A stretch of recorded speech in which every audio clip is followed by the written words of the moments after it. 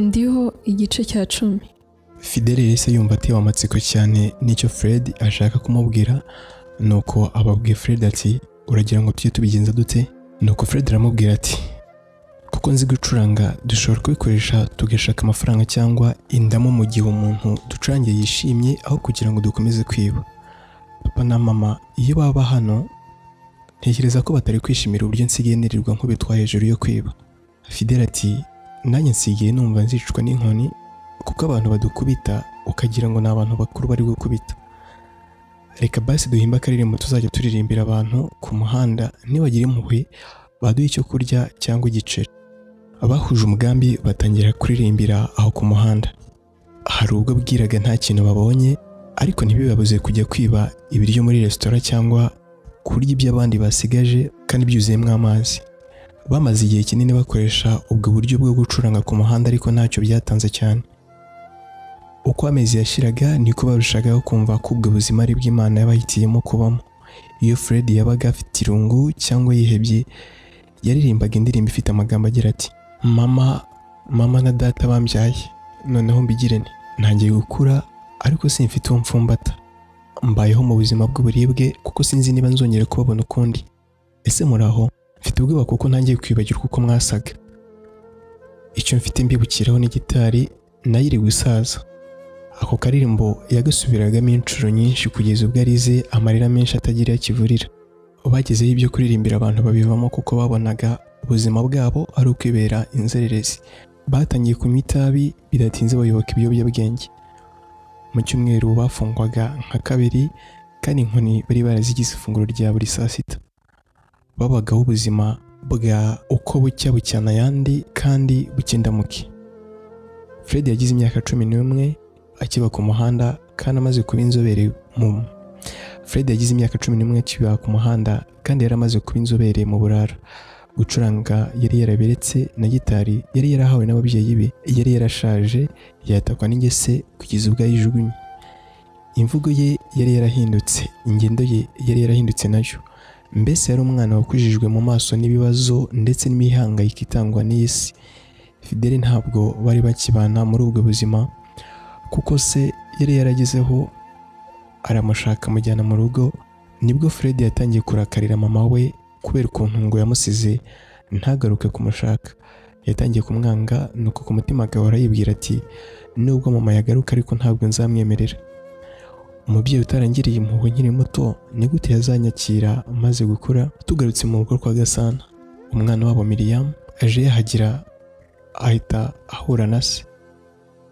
Gasana ati mwana wanjye ko wiruka amasigamana ni amahoro nuko miriam ati papa sinzi niba narebye neza ariko banza nabonye fred.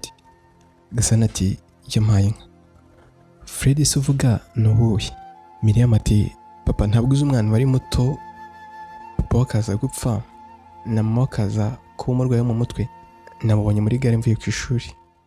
Gasana yabanje guseka nuko aravuga ati mwana wa ntabwo ibyo bishoboka. Ubwo se wabona umuntu uheruka mu myaka itandatu ishize ukamumenya noneho wari umwana. Fred wakubaho na nyiramana se kuko yaba ari we wabonye? Miriam ati nyamara papa namubonye. Kandi ndabizi ni we yagiraga agasununu ku kananwa none aracyagafite. Gusa yabaye nabi. Bari bari kumukubita bamuziza kwiba amandazi. Nyumva akadomo rwa miriam yatangiye kubika umutwe agira impuhwe akurikije ibyo yabonye nuko sahita agira amatsiko ndetse cyane. Gusa abaza umwana we aho yaba yabonye fred ahita amubwira ati ngaho tuza ujye mu rugo mwana wa. Gasana yahise yihuta n'ingoga ajya muri gare aho uwo mwana yari yabonye fred gusa aramubura.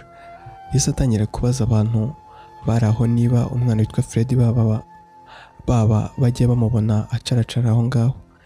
Yahise yegera umucuruzi wari uri aho aramubaza nuko uwo mucuruzi aravuga ati uwo mwana rwose ni inzererezi hano ku muhanda. Aranyeba kandi antesha umutwe ndetse ni ukuri nabuze uko namugira.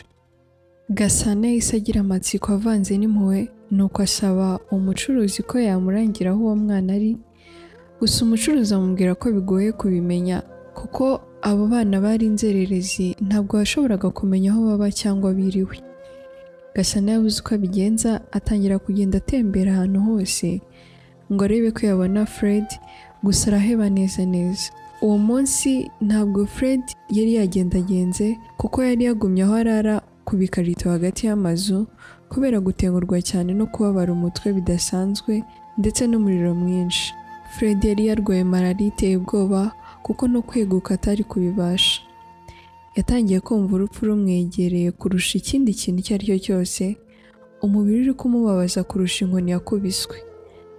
Yari ari kwibwira ku mutima ati mama ngiye gupfa nakubonye nubwo wansize nkiri muto ariko uri mama. Sinzi ibyambayeho kuko ndumva ntari burenge uyu munsi.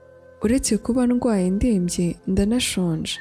Yari ari kuruka buri kanya gusa akaruka amazi kubera ko nta kintu cyari kigeze kigera mu nda ye mu ijoro ryahise inkuru y'akababaro no kubaho ubuzima bw'amatage yari igeze aho igiye kurangizwa n'iherezo rya byose ari rwo rupfu. Fred ntiyari azi kwivuza icyo ari cyo kuko iyo yarwaraga yashidukaga yikijije atagiye kwa muganga. Gusa yaherukaga kurwara akiri kumwe n'inshuti ye fidele we wamwitagaho akajya gushaka ibyo barya mu gihe ibihe byabaga byashaririye muri ubwo buryo. Gasana nawe ku rundi ruhande yari akomeje gushakishanya fred uruhindu abaza umuhisi n'umugenzi niba yabaza uwo mwana gusa agakomeza guheba. Yamaze nk'amasaha abiri abaririza kugeza ubwo yavuye ku izima afata umwanzuro wo kwitahira. Ubuzima bwa fred n'iherezo rye byari biri mu biganza by'imana yaduhanze ikaduhumekeramo umwuka wayo utanga ubuzima. Nyumva akadomo rwa ntukicwe n'irungu.